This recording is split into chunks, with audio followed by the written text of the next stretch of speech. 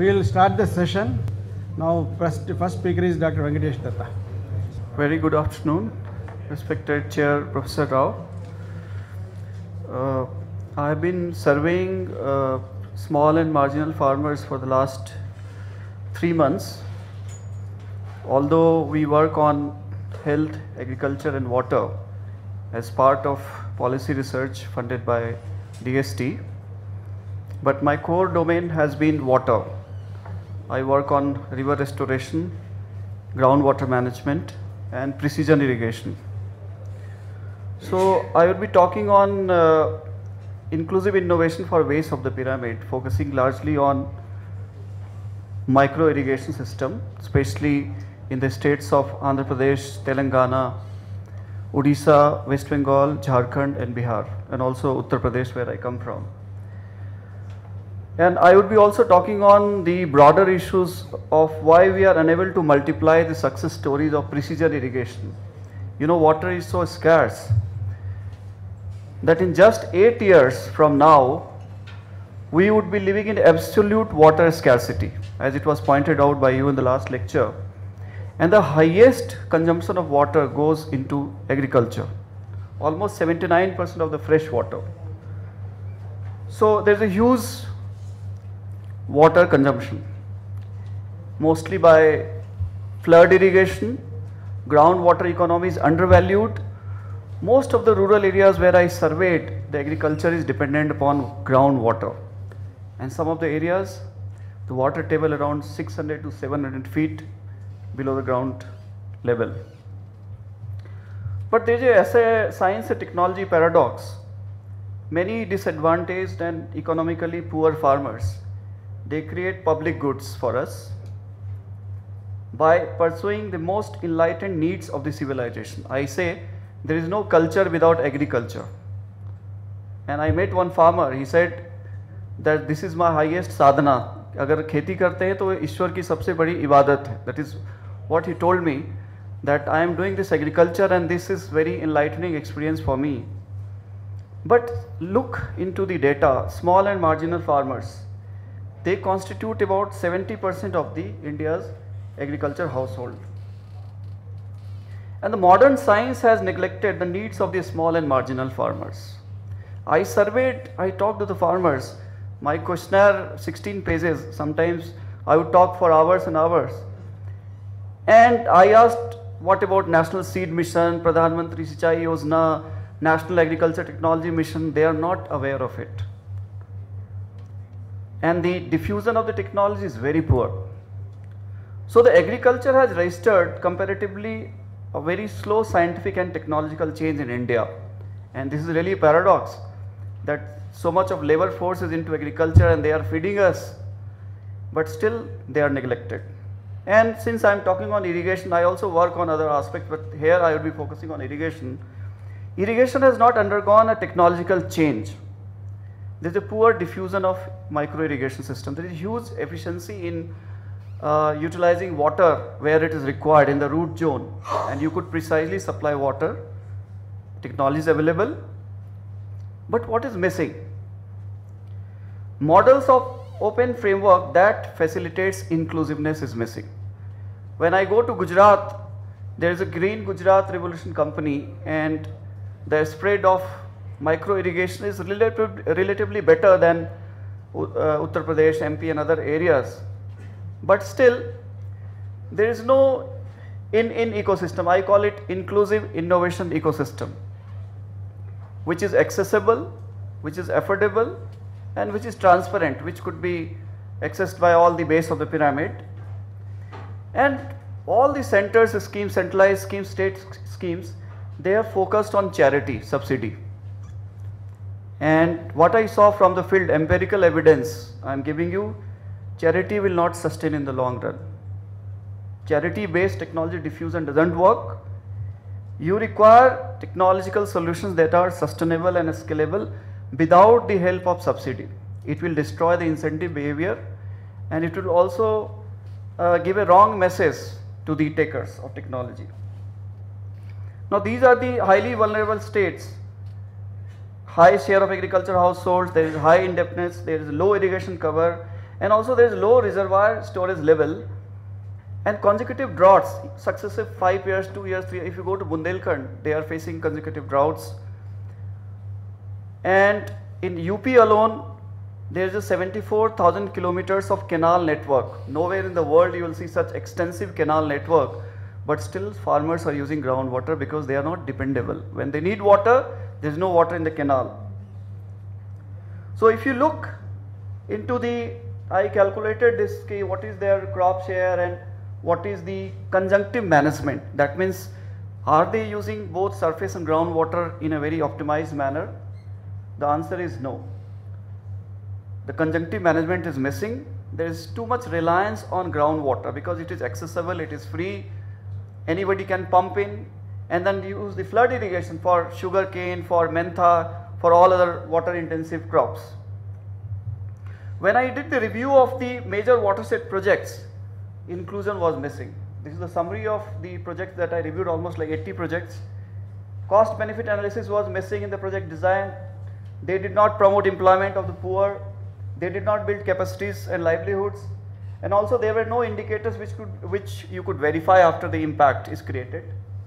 Realistic external assumptions were ignored and also no channels established channels to the beneficiaries or communities. So this is how you impose technology without knowing the these uh, you know criteria in the project in the design it, itself. So we did a model that if we have to double the farmers income and yield, what mix we could use. So we had this business as usual scenario and science, technology and innovation scenario. And we came across this precision irrigation, improved seeds, soil nutrient management and better harvest technology. These are the four major drivers which we have to work upon and precision irrigation is on the top that we have to use water optimally. But what is the law of diffusion of innovation? Why we are unable to multiply the success of micro irrigation? We have early takers, we have early adopters and then there are large tipping points, large bottlenecks which stop the diffusion of the technologies to the larger share, the, there are laggard, there are late majority adopters, but they do not attract the majority.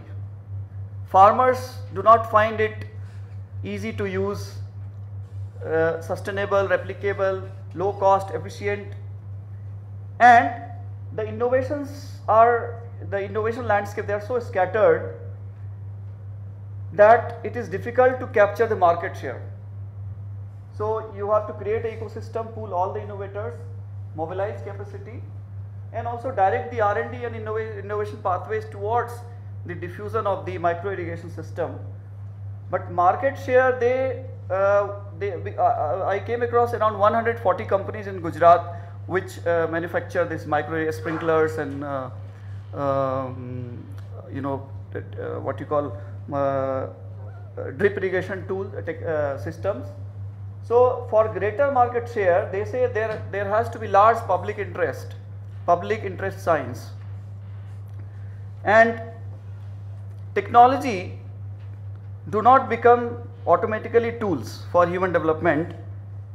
When I talk about bottlenecks, these are the common synthesis.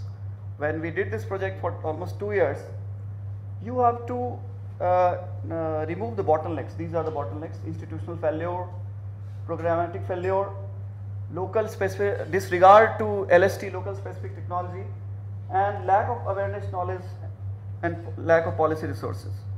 So what farmers need?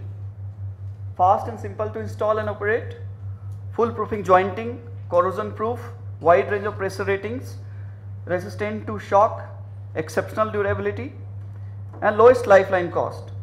So what you need to match their requirement is value based cost engineering, something that matches with the value system, community involvement, open source design, responsible innovation and lastly, quality of life consideration. This is very important.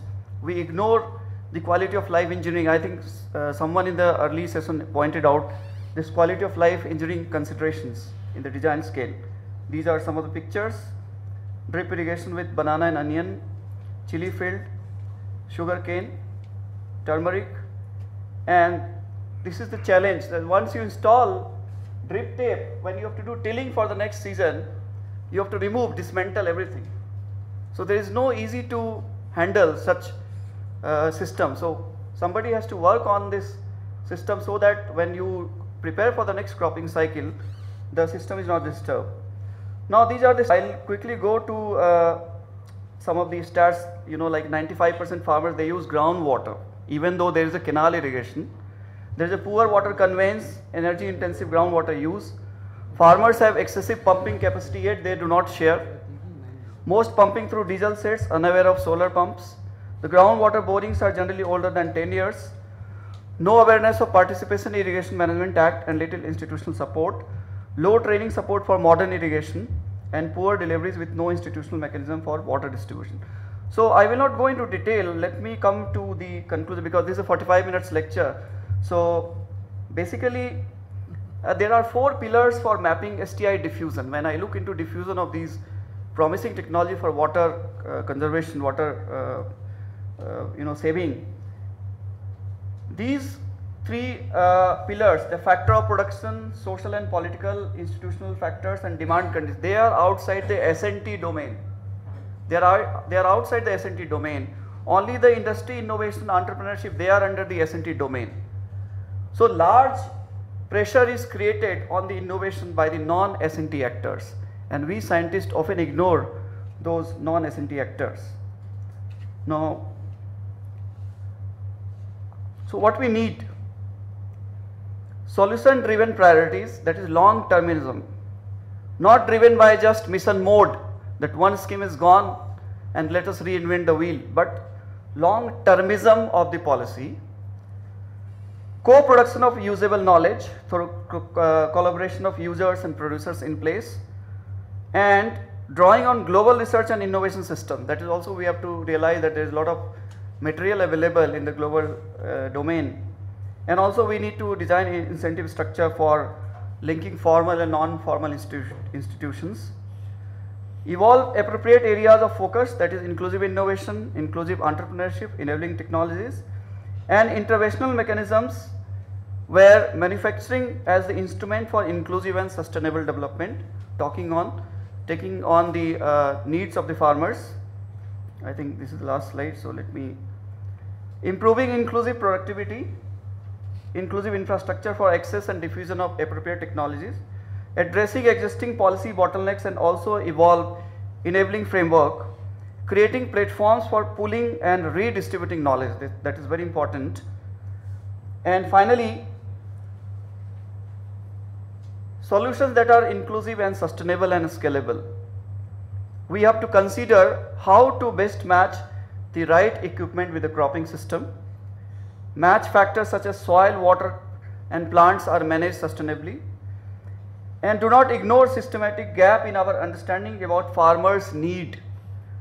I talked to one farmer and, and he said your object is sustainable yield but subject is me, I am the subject and you are doing subjectless object. So farmer is not in the picture. So focus, do not focus on the consumerism aspect but focus on overall quality of life of both subjects and objects. Subjects are farmers and objects are sustainability. Thank you so much.